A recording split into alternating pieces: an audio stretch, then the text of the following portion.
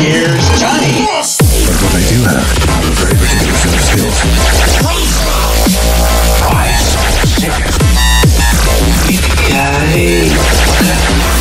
Go ahead.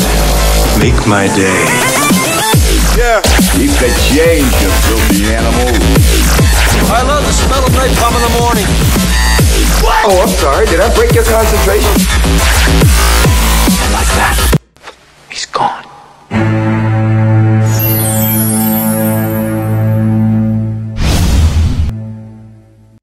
The image of a strong man is one built like a tree. Dennis Rogers is the greatest strong man who ever lived. He's not a big guy, maybe 170 pounds, five foot six. Dennis Rogers holds Piper Cub planes from taking off. He stands Harley bikes strapped to either arm, and he keeps them from ripping his body apart. Dennis Rogers is just unbelievably strong. He rips cards and phone books. He breaks chisels, bends steel, and blows up hot water bottles. When the chisel won't break, when the bottle won't burst, when the phone won't rip, he gets excited. Challenge is his turn on.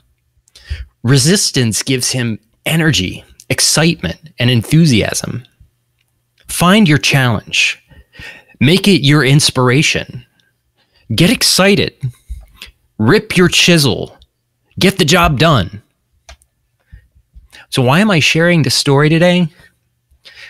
The last few weeks for me have been rough. I have a tendency to get involved in too many things, and right now is the perfect example. Creating an online filmmaking workshop, putting together a free online film panel, running two different 48 hour film projects, and putting together all of the networking events and screenings, finalizing all the details, doing all the marketing and outreach to get filmmakers involved, and answering all of the questions that come with putting events like these together. Trying to get things together for my first short film for under $200 and over one weekend implementing GDPR regulations for the 48 hour film project. Now, most of you probably haven't heard of this since you're not from the EU, but it's a huge change in data and privacy laws that will change the way that all companies worldwide do business. And right now, the biggest pain in my ass. Building a new website marketing consulting for another film festival. Reaching out to all of you and coming up with new ideas for content that you'll find useful being a fiance and the father to two busy teenage girls. I could go on, but I think you get the picture. The reality is, if you want to make it in the film industry or really succeed in anything in life, this is what you have to do. You've got to hustle. You've got to put in the time. You've got to sometimes get involved in too many things. You've got to challenge yourself to do more.